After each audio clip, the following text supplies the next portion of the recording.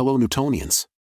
Product Data Management, or PDM, is another important topic we need to discuss to fully understand processes with CAD software. Hopefully, the company you work for, or will work for, already have an implemented PDM. In this video, we will talk about what PDM is and why it is important. In my videos and articles, you can see that I am emphasizing organizational skills as one of the fundamental skills that a mechanical design engineer needs to succeed in a career. So far, I have been writing about the importance of email and knowledge organization. Now we will talk about the organization of daily data that we use and produce with our CAD software. Depending on the company you work for and how many products it has, you could potentially work with thousands of native CAD files, PDFs, exported CAD files, etc., and there should be a way to organize it. The bare minimum that your company should implement is that you have a designated place on the server where all the relevant data can be stored and found. However, this approach can be messy, unpractical, and prone to errors. If the correct procedures are not implemented, it is easy to mistakenly save the files in the wrong project folders. Furthermore, it is possible to use the parts from your local drive and server mixed in one assembly, and as long as you work with it is usable. Still, when someone else tries to open the assembly, they will lose connection to the parts on your local drive. Considering that products are getting more and more complicated and multiple teams can work on the same base model, there is a solution that can help us better organize our design data. This solution is called Product Data Management or PDM. But before we dive into that, let us look into the only server-based documentation overview. Server-based documentation management without software for data management. When CAD data is stored on a server without a dedicated PDM system, it typically involves manually managing files and folders.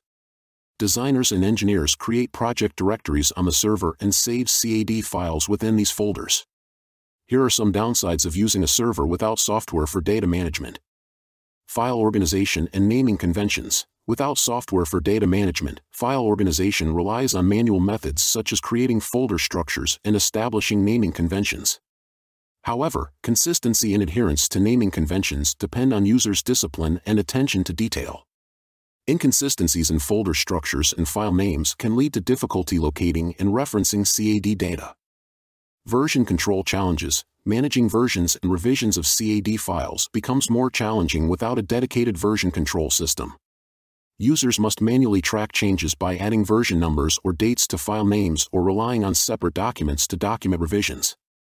This process is prone to errors, confusion, and the risk of overwriting or losing previous versions. Collaboration and concurrent access. Without software for data management, collaboration becomes more cumbersome.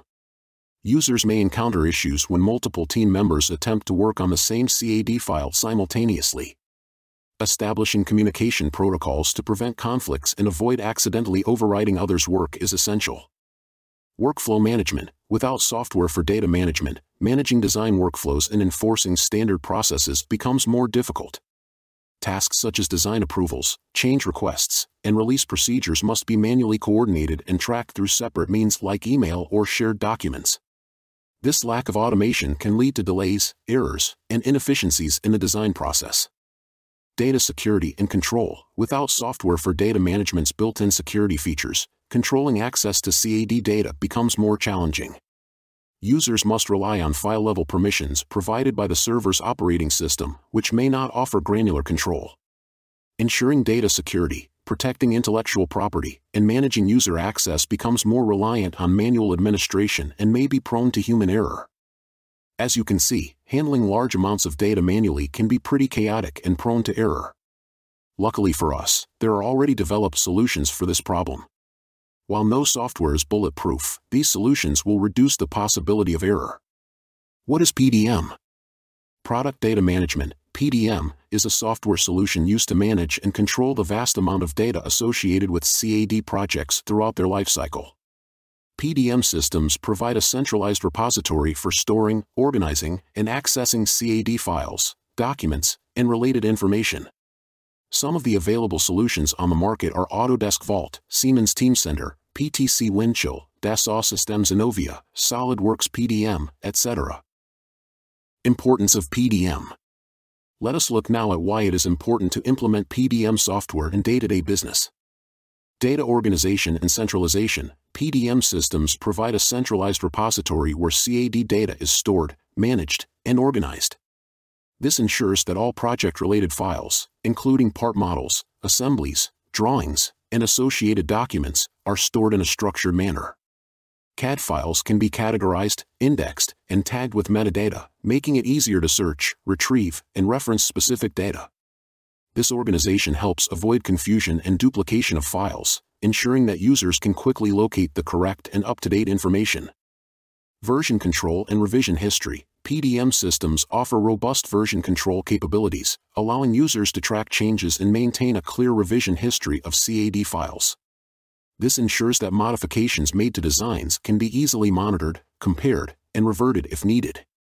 Version control prevents conflicts when multiple users are working on the same CAD project simultaneously, as the system keeps track of changes and manages concurrent access to files.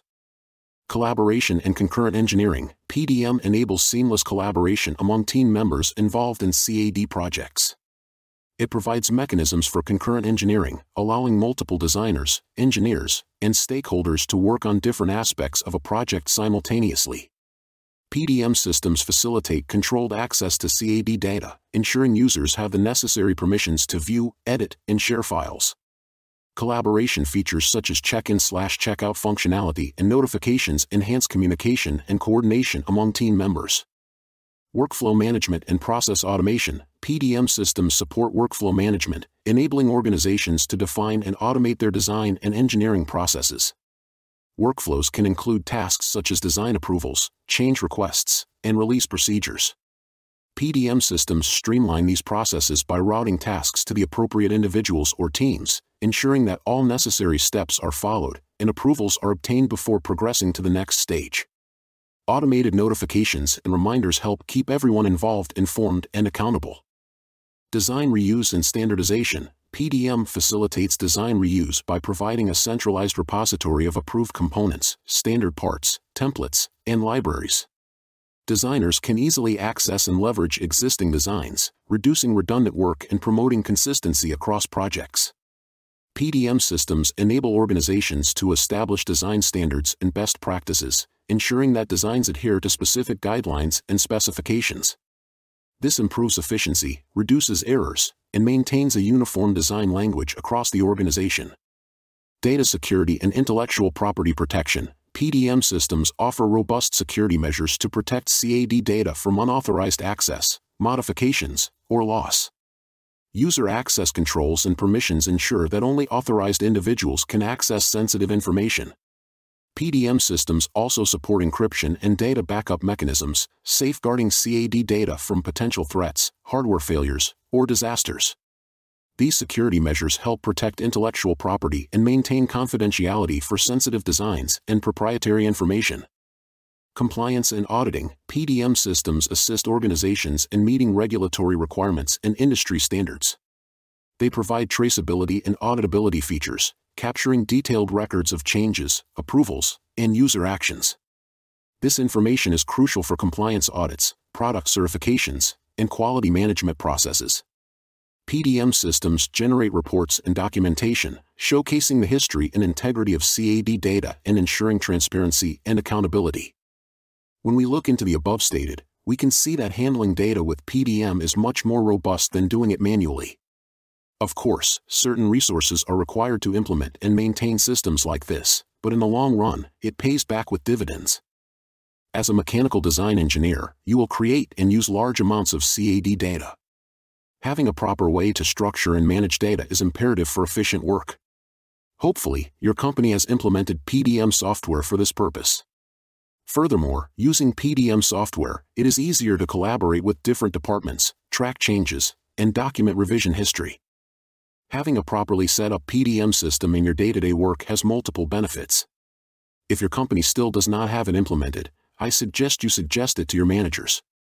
Depending on which CAD software you use, you can contact the local reseller and ask them to send you more info about the PDM implementation in existing systems. Also, make sure to ask for studies about ROI, return on investment, because that will certainly be interesting to your company. Did you learn anything new in this video? Let us know in the comments below. Do you like our videos? Then, give us a thumb up, comment, and share it with your friends, colleagues, and on your social media channels. And if you want to become a part of the Newtonians, make sure to subscribe to our channel.